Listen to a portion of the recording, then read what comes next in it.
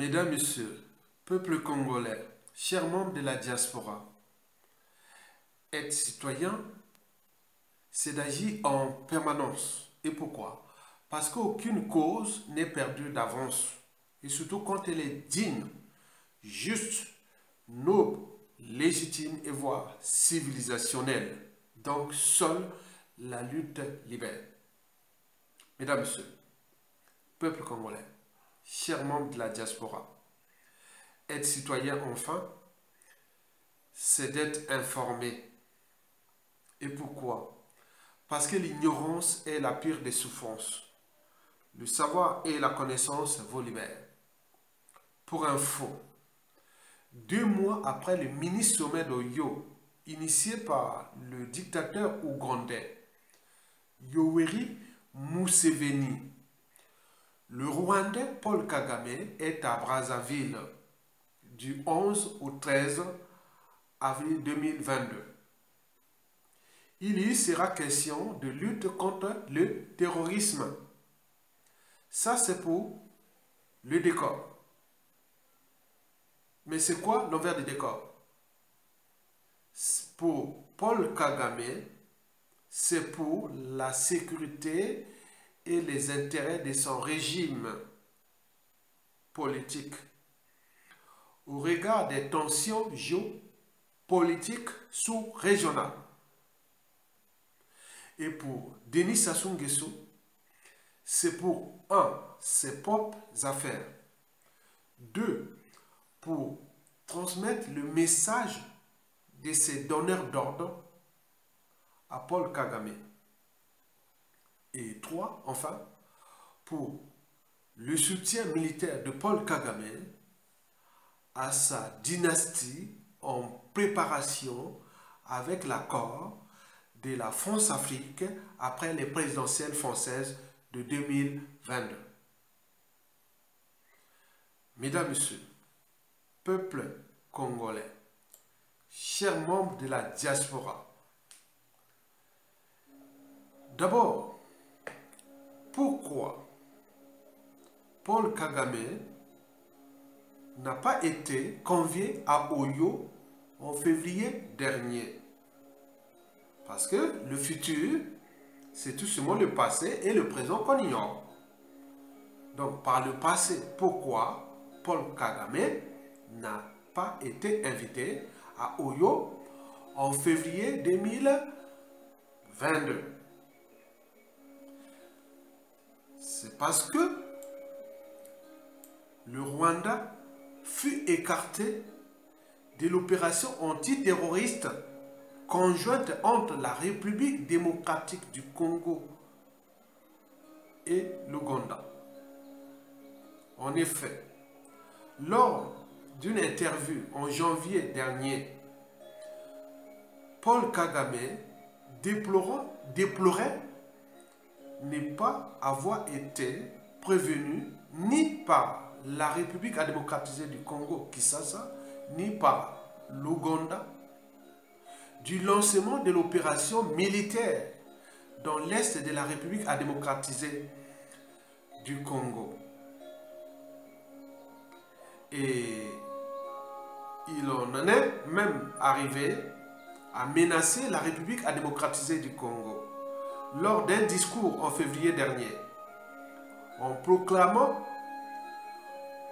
quiconque nous souhaite la guerre, nous la lui donnons. Quiconque nous souhaite la guerre, nous la lui donnons.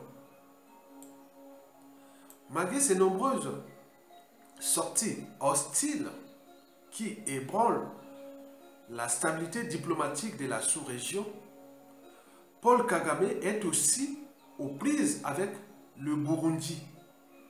Le chef de l'État rwandais peut cependant s'étarguer d'être toléré par ses pairs, par ses pairs, publiquement en tout cas. Mesdames, Messieurs, peuple congolais, chers membres de la diaspora, question. Pourquoi Denis Sassou Nguesso s'est-il plié aux exigences de Paul Kagame en visite au Congo-Brazzaville. Explication. Lors de la rencontre d'aujourd'hui entre Denis Sassou Nguesso et Paul Kagame, trois sujets seront abordés. Tout d'abord, les investissements rwandais au Congo. Le fonds Cristal Venture qui avait obtenu la concession de la zone industrielle de Maluku dans la banlieue de Brazzaville n'a toujours pas engagé les 200 millions de dollars promis. Un sujet relativement consensuel. Deux autres sujets sont à l'ordre du jour de cette visite diplomatique du président rwandais au Congo-Brazzaville. Premièrement, ces sorties houleuses de plus en plus nombreuses lors desquelles il attaque l'Ouganda, le Burundi et surtout la République à démocratiser du Congo.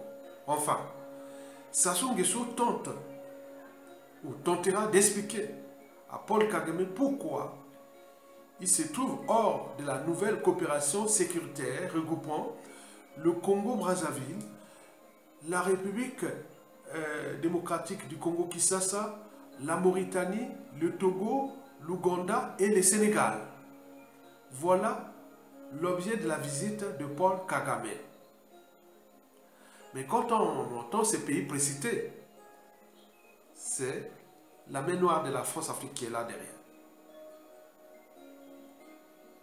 On parle du Congo-Brazzaville, la République démocratisée du Congo-Kinshasa, la Mauritanie, le Togo, l'Ouganda et le Sénégal. Vous avez tout compris.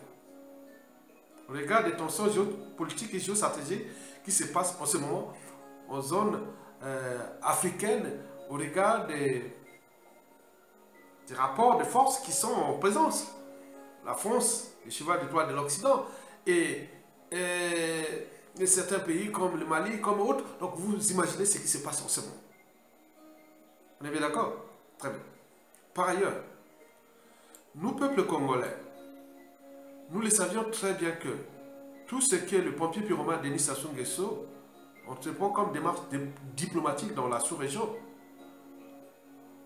d'Afrique équatoriale, et n'oublions pas en Afrique francophone, est toujours mauvais, trop mauvais pour être utile aux intérêts de nous, peuples congolais et de notre pays, d'abord dans la sous-région et dans, en Afrique francophone. Il faut se dire que Denis Sassou Nguesso, là, joue pour ses propres intérêts et de ses donneurs d'ordre France-Afrique. Mesdames, Messieurs, peuple congolais, chers membres de la diaspora, décryptons la problématique de la société euh, Crystal Venture qui fait le bruit dans les, toute la diaspora. Que Denis Sassou Nguesso est en train de vendre les terres du Congo au Rwanda. Examinons maintenant ce dossier. La société Cristal Venture, présente dans plusieurs secteurs, entre autres ceux de l'économie, de l'agroalimentaire, de la sécurité privée, des télécoms et de l'immobilier. Cristal Venture, faire de lance économique du parti au pouvoir, le Front patriotique rwandais. FPR, en réalité, Paul Kagame serait le véritable boss. L'année passée, la société rwandaise Crystal Venture avait promis mobiliser la somme de 200 millions de dollars, soit plus de 110 milliards de francs CFA, pour la remise en état et le développement de la zone économique spéciale ZES de Maluku au nord de la ville capitale Brazzaville, sous le fleuve Congo dans laquelle elle compte investir. La convention de concession de la zone industrielle de Maluku devrait être signée le 31 mars dernier avec le fonds d'investissement rwandais Crystal, Venture, le bras financier du parti de Paul Kagame, le tout piloté par Denis Christel Sassou Nguesso. Le Rwanda de Paul Kagame, à travers son bras financier Crystal Venture, se lancerait dans une politique de prédation à travers des accords léonais. C'est tous les questionnements. Pour terminer, mesdames, messieurs, il faut se dire que le Paul Kagame prépare des lendemains difficiles pour le Rwanda, qui aujourd'hui est au main d'une minorité Tutsi, dont on connaît ce qui s'était passé déjà en 1994. Donc depuis que euh, Paul Kagame joue de cette... Euh, impunité, on va dire que les, on comprend, qu'il s'est passé quelque chose de mal au Rwanda en 1994, donc ils jouent à ça, les, les Tutsis ont subi les génocides et autres. Bon, beaucoup de, de, ont fui à, l'étranger, beaucoup sont en République démocratique du Congo, beaucoup sont chez nous, chez nous aussi. Mais avec ce qui se prépare, parce que le Rwanda, malgré ce génocide, Paul Kagame fut d'abord apprécié par beaucoup d'Africains par la suite. Mais il me semble qu'il est en train de jouer un jeu dangereux qui risque d'être problématique pour le Rwanda de l'après-Kagame. La majorité, tout est à l'extérieur. Et là, Paul Kagame est en train de créer des zones de tension. D'abord avec euh, son ancien allié, l'Ouganda, Maintenant là, il veut jouer les tensions avec le Burundi, mais là c'est la RDC qui a fait la prédation des matières premières, des terres rares et autres, on nous connaît. Maintenant là, il veut aller créer une autre zone de tension chez nous, au Congo-Brazzaville. C'est trop. Mais pourquoi et comment peut-il tenir? Bon, au départ, on disait que c'était l'homme des Américains. Après, il est allé, euh, il devient le, Wagner. Euh, voilà, des choses comme ça, il est allé par-ci, hein, par-ci, par-là. Hein au Centrafrique, au Mozambique, partout, il est là. Bon, il vient, voilà. Comment Vous avez des tensions entre vous dans la sous-région, mais vous êtes toujours là en force? Donc, on s'est dit que quand c'est flou, il y a un loup. Donc, c'est Paul Kagame devient quelque part le cheval de droit de l'Occident. Mais le pardon, c'est qu'il est aussi en Centrafrique, qui est au mains de l'Eurasie, surtout la Russie, et beaucoup de choses comme ça. Donc, ça risque de se terminer très mal pour le Rwanda. Parce que quand dans la vie, quand vous montez, vous montez, vous montez, vous montez, la chute est difficile. Donc le Rwanda est en train de, de préparer déjà quelque chose qui pourra arriver pour le Rwanda. Parce qu'on ne peut pas être en conflit permanent avec des voisins comme ça, jouer la prédation. Mais là, bon, Denis Christel Sassou Nguesso a trouvé un allié, son papa après les présidentielles françaises, bon, Macron pourra les, a aidé à préparer la dynastie de Denis Sassou Nguesso, de Sassou. Donc on le sait, on a les informations. Donc il faut se dire que euh, les mois et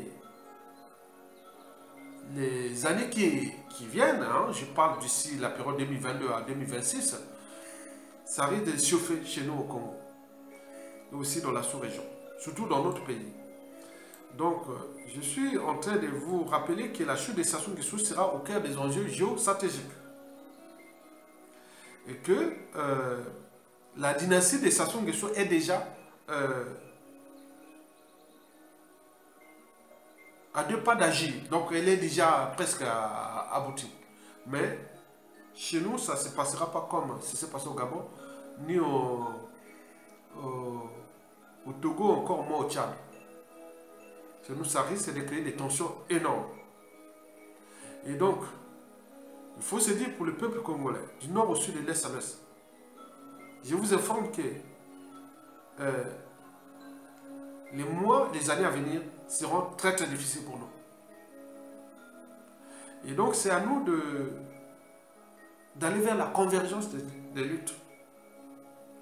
Parce que les enjeux euh, géostratégiques sont telles que euh, pour notre pays, ça ne compte pas devant la France. On ne compte pas. Et non plus pour le Gabon, le Cameroun et autres. Toute la zone France-Afrique est dans la merde. Donc il y aura des tensions énormes. Donc les décennies, euh, cette les décennies de, 2022 à 2032 seront problématiques pour la France-Afrique en Afrique. Parce qu'elle ne sait pas décoloniser. Elle continue à s'entêter alors qu'elle compte beaucoup sur l'Afrique. Et crée des zones de tensions qui sont énormes. Au regard des tensions géostratégiques qui se dessinent. Et donc il faut en tenir compte de ça. Donc nous, peuple congolais, ne nous divisons pas. On a essayé en 2016, on voit ce que ça donnait. On a un président élu qui est en prison. Mais la France fête, va fêter bientôt euh, notre président, voilà. Mais 2016, 2021, on a tué un candidat. Et là, nous nous sommes divisés. Non, il ne faut pas. Et cette division-là crée des, tensions qui, certainement, vont dans les paniers des contentions historiques. Et donc, ce n'est pas bon. Ce n'est pas bon pour nous. Ce qui se dessine. Donc, préparons-nous à éjecter Sassou Nguesso. Parce que les présidentielles 2022 là, c'est pas bon pour nous, peuple congolais. Présidentielle 2022 en France, c'est pas bon pour nous, peuple congolais. Parce que la France compte sur l'Afrique. Je vous dis, c'est là, il n'y a pas photo. Le problème déjà de son roi mondial, de ses matières premières, du monopole de ces marchés, beaucoup de choses comme ça. Tout va se dessiner chez nous en Afrique. Donc méfiez-vous des apparences. Vous avez par exemple pu voir, là on parle de l'immigration, on parle de ceci, mais chaque fois qu'ils vont attaquer l'Afrique, c'est la France qui va s'en déclencher. Donc c'est un processus qui est inéluctable. Donc il faut tenir compte que la France tient à maintenir ces derniers pions, pièces métiers comme ça, à défaut euh, remplacés par euh, les le, fils gros voleur là et autres. Donc nous sommes déjà avertis. Il y a des choses qu'on ne peut pas dire, mais je vous dis que euh, d'ici à 2026, il risque d'arriver des situations très graves pour notre pays. Au regard des enjeux France-Afrique de la dynastie de Sassou et de Nguesso.